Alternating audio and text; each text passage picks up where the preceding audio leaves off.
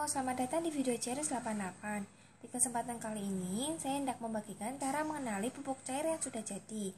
Di minggu yang lalu, saya pernah mengupload uh, cara membuat pupuk cair ya. Nah, sekarang kita lihat apakah pupuk cair yang kita buat sudah jadi. Yuk langsung aja. Nah, di depan saya ini adalah pupuk cair yang sudah saya buat di minggu kemarin.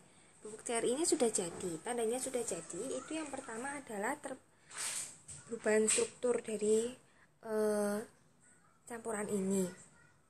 Nampak di sini ada endapan di bagian bawah ini. Kemudian atasnya cairannya sudah berubah warna. Kemarin uh, warnanya putih agak pink. Sekarang warnanya agak kecoklatan. Tidak selalu berubah warna sih, tapi yang terutama itu perubahan uh, struktur. Ada endapan di bagian bawahnya. Terus yang kedua adalah e, terbentuknya gas ini karena saya menggunakan tutup plastik itu pembentukan gasnya tidak terlalu tampak karena gas yang sangat mendesak bisa keluar dari sela-sela plastik di atas ini. Uh, tapi kalau kita menggunakan tutup ulir itu akan sangat tampak pembentukan gasnya. Jadi begitu tutup ulirnya dibuka bisa benar-benar terdorong oleh gas yang ada di dalamnya. Kemudian perubahan berikutnya adalah perubahan bau.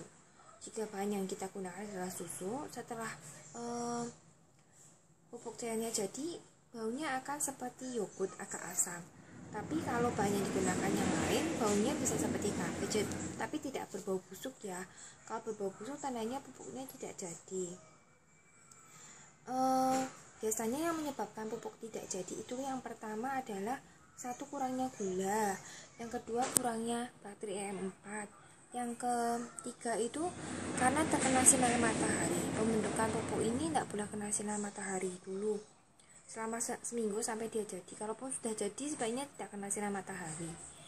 Uh, terus yang bikin uh, gagal juga itu karena ininya tutupnya terbuka. Bakteri EM4 itu perlu perlu kondisi tanpa oksigen atau anaerob. Jadi eh, nggak uh, boleh terbuka tutupnya ini. Baik Sekian cara mengenali pupuk cair yang sudah jadi dan siap diaplikasikan. Cara pengaplikasian pupuk cair akan saya videokan di video berikutnya ya. Terima kasih sudah menonton, sampai jumpa kembali.